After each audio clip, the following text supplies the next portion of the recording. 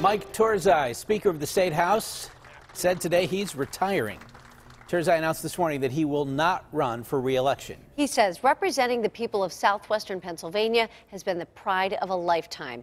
Rick Dayton takes a closer look at his decision and how it could affect the state house.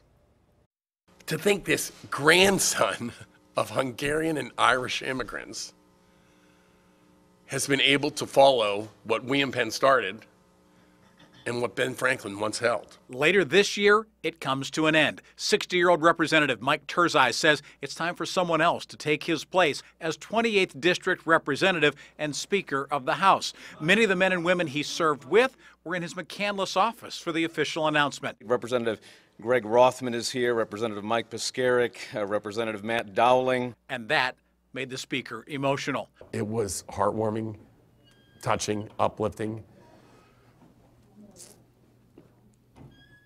You know, uh, I love those folks. With his wife Lydia and one of his three sons, Matthew, joining him, he made it official.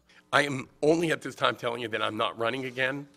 I don't have any present, despite reports to the contrary, uh, offer a position. However, in a one on one conversation after the announcement, he hopes for a position in the private sector where he can continue the work he has done since being elected in 2001. The opportunity to help grow uh, a successful business organization and to make sure that the jobs stay in Pennsylvania and that they're good paying jobs and that it's done well.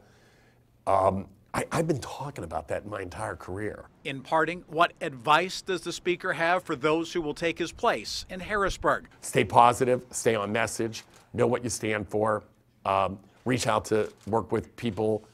If you can't um, you may not find agreement on one issue, but you might find agreement on another issue. In McCandless, Rick Dayton, KDKA News.